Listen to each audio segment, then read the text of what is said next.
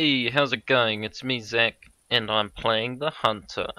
It's been a very long time since I last made a Hunter video. The last video I made was like, jeez, it was so long ago. It was probably when I just finished college. Jeez. But uh, I decided to come back. I wanted to do an update video on this game because I played it a lot, and I still do play it a lot because they added a bunch of stuff but every single time I'm getting ready to record it, they add more stuff. So I'm going to go in order of stuff that they added that's really like made me get back into the game and play it a lot more. And uh, I actually have something that not many other people have, which will make this extra special, so let's get straight into it.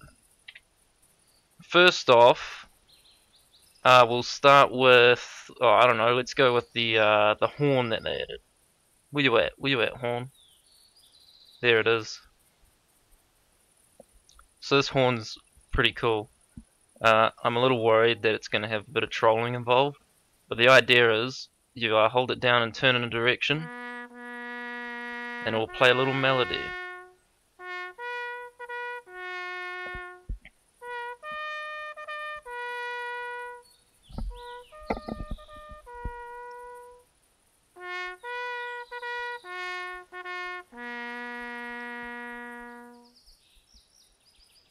And it's not just for show, it's pretty much people that don't use stuff like TeamSpeak and play together, they can use this to communicate in a way.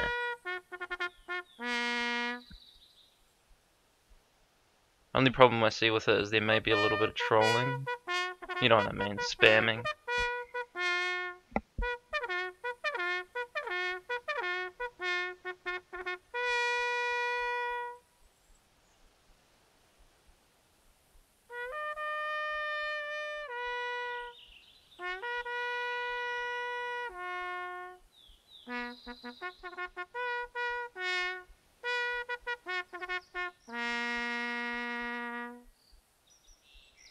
Right, so yeah, that's pretty cool. I thought that was just something nice they added, you know. They didn't have to add that, but they did anyway, so that's pretty awesome. Next up, we'll go with the spotting scope. I'm so happy they added this, because spotting is a pain in the ass at long ranges. This makes it so much easier. Uh, we'll just use it here, I guess. We'll look over at this hill. But basically, it's a scope that you use, and it doesn't look that zoomed in at first, but as you zoom it, gets further and further and further. It's got pretty good zoom and it's really good for spotting animals. You just put the cursor on it and give it a second and it spots it way more reliable than these binoculars here. So that's another nice thing they added that they didn't have to add. So uh, good on you. Keep adding stuff like this please. I like these small things but also obviously focus on bigger things. Right, I mentioned earlier there was something that I have that not a lot of people have, so let's look at that now this, the almost dev jacket. Now if you're wondering what this is, this was given out to people that designed contests and missions for the game. Uh, I entered the competition for making a contest for an animal, and I made a contest pack for Sitka deer, Sitka deer, I'm sorry if I pronounced that wrong, and I won it. I don't know when that's getting added to the game, but when it is added to the game, I'll probably make a video of me doing the contest that I made, which would be awesome, and I'm pretty excited for that. But apart from that, uh, I don't know how many people have these. Not a lot. So, yeah, I have been looking online, and I haven't seen any videos of other people with them. I may have missed those videos, but there you go. That's the almost dev jacket. It looks really sick. I like it a lot, and I pretty much wear it all the time. Right, next up, something they just added like the other week, a new bow. Uh, it's a pretty cool bow. Where are you at? Where are you at? Here we go. Here's the new bow they added. Uh, I forgot what it's called. Let's find out. I'll just show you the reload there.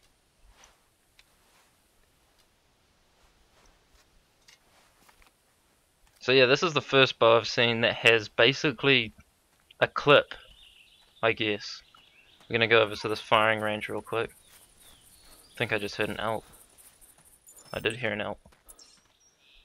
Too bad elk, so sad. We're gonna go try out this bow real quick. It also has a sight, which I will put on and show you.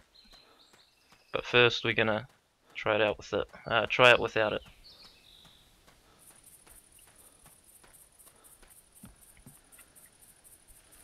So it's got three pins.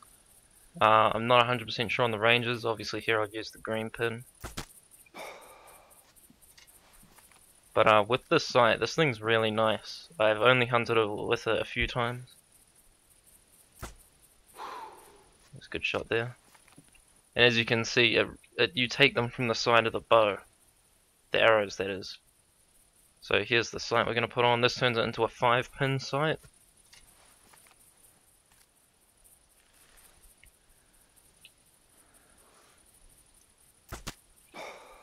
And once you get used to practicing with it here, you know, it, it's a really good bow after you practice a bit with it. Uh, I'm going to be using this because we're going to go hunt some elk in a minute. But before we hunt the elk, there's one other thing I have to show you. Hmm. So uh, let's check that now. But before I show you that, the name of this bow, the Pulsar. There you go. So last thing off the top of my head, new dog. That's the scent hound. Go to our scent hound. I've got the founder collar.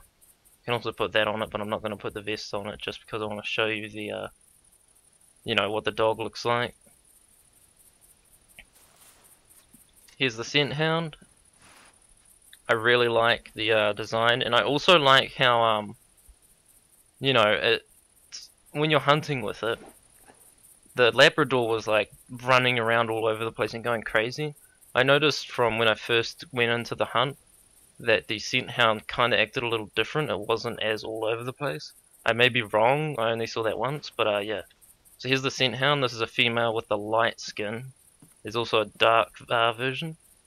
Decided to get a female with light skin because I have a chocolate Labrador retriever that's a male with dark fur. Uh, another thing they changed is your dog gets highlighted when you hold V. Thank God, I now know where my dog is. And uh, I noticed it says track blood, so I'm assuming it's for tracking after you wound an animal. Which is alright, but when I one-shot, you know, I don't know if you'll unlock more stuff for the dog to do after that, but you know, it's pretty cool anyways. I have not hunted with it yet, that's what we're about to do now. You've also got your basic commands like come here, Tell your dog to come. Obviously this is a level 0 dog. So this is to be a bit... Here she comes. It's good to see there's like different walking animations compared to the Labradors. Or the Retrievers even. We got the stay. Oh, she yawned. We got the sit. She's making noises. Got the lay down, which is the same as stay, I guess. Yeah. And get in and out of blind, which, you know, won't matter. Right, so we're gonna go hunt some elk, because that is the mission that we have to do for this, uh, for the retrievers. And by the looks of it, there's actually a female really close. So already I'm super happy because this is a level 0 retrieve. Uh, sorry, I keep getting retrievers and uh, scent hounds mixed up. Level 0 scent hound, and as you can see, it's already creeping around, keeping quiet. Which is, and it's good to see because my chocolate lab did not want to creep around on the ground when I got him.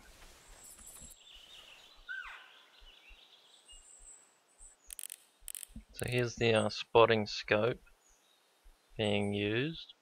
Normally that would be pretty difficult to spot the actual elk. But uh, with the scope it just makes it so much easier. And it's a lot easier to pick individual ones as well. As you can see there's a few females here. But uh, with the scope I can zoom in to specific ones rather than it just spotting random ones for me.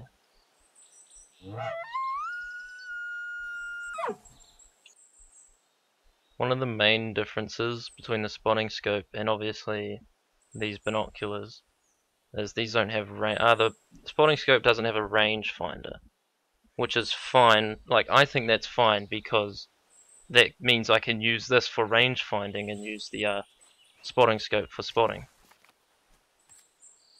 Now this elk is at 30 meters. Dropped. Very quiet bow as well, I've noticed. Which is awesome.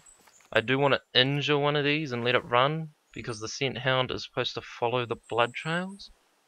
And I'd love to show that. That being said, I don't want to give it a really shitty shot. So we're going to go for another long shot here. I know 30 meters isn't that far, but we won't aim straight for the lungs and heart this time.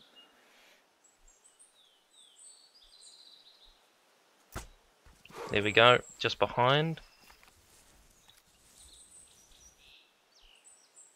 And they're all scattered. Cool. So we're going to collect this elk and then we're going to try out the scent hound. Right. So right here we have intestines, body shot, track blood. Never done this before. Let's see how it goes. Oh, he's all.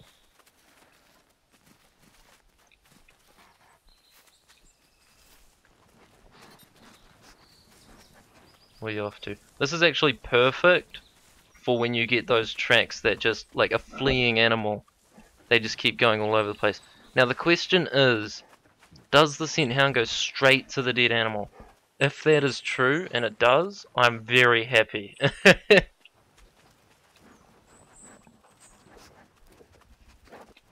if it goes between tracks, uh, that's alright as well. That's probably, that's what I expect. But it would be great if it went straight to the animal. So it's obviously, it's off, it's off. She's off. Okay, she's, she's running between the tracks, I think. She's stopped. What's up? You've lost it? Okay, so this is obviously where the leveling up would come in. If you level uh, your dog up a lot, it's to go a lot better. Yeah, so it looks like she lost the track right here. Track that.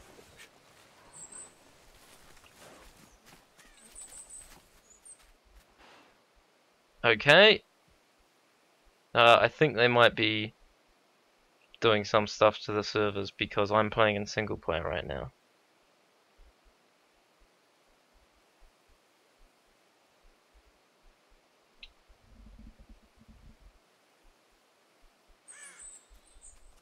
Okay, it looks like we're alright. Maybe that was a problem. Maybe there's a bug with the uh, scent hounds. I don't know. That was very worrying. But uh, let's hope that uh, it, it stays up.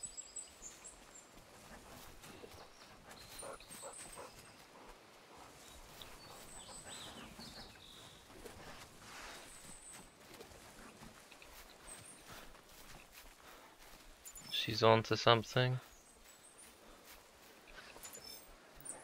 Fleeing tracks. I see movement straight ahead. Yeah, it's a deer. It's gone. This looks like it was a little white tail or a black tail. Female. Doesn't matter. We're more interested in the scent hound at the moment. Oh, she's off again. I am liking this.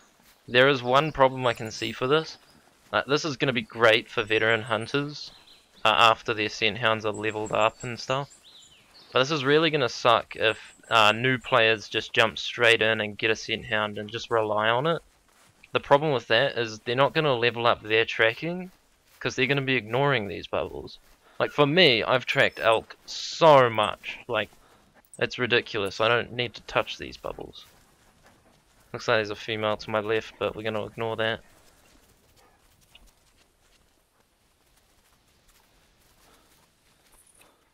My, oh, stamina level 2. So if you're wondering what I called my dog, her name's Milo. Uh, because that is a great name for a pet. This is also going to be perfect for when you're doing a contest that's like, you know, take an animal out at the maximum range or something. A good example is um when there was a contest for longest range on a wild boar uh, with a handgun with no scope. Uh, I was looking at the leaderboards. I hit uh, a wild boar at a crazy range because I was just testing out with the revolver, like how I get the drop. And if that boar died, I would have won the contest. Like if I could find that boar. But I lost the boar. I, I could not find its tracks. This was such a long time ago. And that was just, you know, that sucked. I wish, if this dog was around then, then maybe I could have tracked it down. But um, unfortunately, we don't have that. No, we didn't have that, but now we do, which is awesome. These are recent. I'm surprised. I think they learnt from the Labrador retrievers. Oh, there she is. Uh, from the retrievers uh, beta and stuff. Oh, she's barking. Good work. You found her, and we're going to put her out of misery straight away. Because that is... There, there we go. So that's awesome. I'm really happy with the uh, scent hounds. Uh, we are going to continue to hunt because I need to find a male for the mission a male elk that is. So yeah, first shot was intestines. Intentionally didn't drop it. Uh, this is all. These guys will also be great for like maybe if you're doing long range bow hunting or just long range shooting in general, where you just miss a kill shot, or even when you do hit lungs and they run. It's going to be perfect on um, Logger's Point because the amount of times. Oh wow, that's my hundredth elk. Um, the amount of times that we um hunt deer there and we just lose track of them because of the trees and all that like and their tracks just loop over each other is ridiculous. And this is going to be perfect for dealing with that. So um yeah let's cut to me taking down a male. Right so my game crashed while I was out hunting an elk. It is a bit buggy at the moment because it was just a game update. But um it's kind of a good thing because there was something else I needed to show that I completely forgot about and that's this new rifle right here. I clicked the wrong button there. Uh, this thing is a beast, and this is for hunting bison, pretty much. Uh, the iron sight, I love what they did, because they, you wouldn't be able to see anything if they didn't fade out this little bit at the front here that's poking up. I really like how it's a pretty much just a cross. Uh, kind of makes me want to iron sight with it a lot. But uh, it also has a scope, which we will put on right now. Oh, by the way, I have two scopes. Yeah, I accidentally bought two of the rifle and the scope because the servers were laggy when I was trying to buy them. So thanks for that. Mm, I really appreciate it. Here's the scope. Uh, it's kind of like the muzzleloader scopes. It's a pretty, it's got pretty decent zoom. And uh, I tested this out a little while ago. It seemed to have pretty good range. So uh, we're going to go and hunt down that elk. My mission was supposed to be completed with the first one because it turns out it doesn't have to be a male elk. But uh, I would like to use this rifle on an elk. We're going to take our scent hound with us as well, just in case we don't get a insta drop, but uh, I think we will. If we don't, then good, I get to level up my dog. One other thing I should probably take with me, that everyone should take with them, if they have a dog, dog treats. Be nice to your dog. Right, so I've located a male elk. Uh, just spotted it. Well, I haven't even spotted it yet. I'm about to spot it now. Once again, this scope is awesome because I wouldn't be able to spot it with the binocs from there. I was planning to go to the tower, but I could just shoot this guy now. So uh, we're going to test out this rifle. I've used it before. I think I used it once on a bison. This thing should be powerful enough to just drop that out straight up. I want to get a more clear shot because it is in the middle of the river at the moment. But uh, hopefully we can take him out with relative ease. I haven't leveled this up much. I haven't taken down many animals. So I'm going to have a little bit of sway. Let's just get a little closer.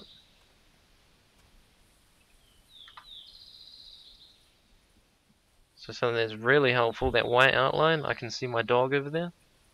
It's a good way to check to see if he's coming up behind me in case he might spook an animal. I noticed with the uh, chocolate labs there was a big problem. We can drop him here if we want to.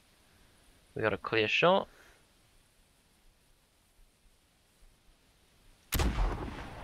Boom! This thing is loud. Alright. Dog running instantly. I don't know if that's when I stood up or when I shot, but uh, he just got up and came over, which is, I guess that's nice. As long as it's only with guns and not with bows. Right, let's go uh, pick up this male. Wasn't a big male, very small male, but uh, it's a male. Better than only killing females this hunt. Nice open area as well. Here's our elk. Alright, let's take our first trophy shot with our new dog. 70 meters, you know, just ripped straight through. Super powerful. Got the achievement. Guess that means that's my first harvest. I could have sworn I shot this before. That being said, servers have been crashing a lot, so maybe it hasn't updated properly. Alright, and can we drag the dog? Yes we can, thank goodness. Okay, that's those are physics. Right. And that is a nice photo. I'm very happy with that. Right, that's it for this video. Unfortunately, the missions aren't working 100% at the moment because of the update that just came out. So the elk hunt isn't really working. Uh, but uh, thanks for watching. If you enjoy these kind of videos, then you know leave a comment, like the video if you want, share the video if you want. It all helps me shitloads. So uh, have a good one.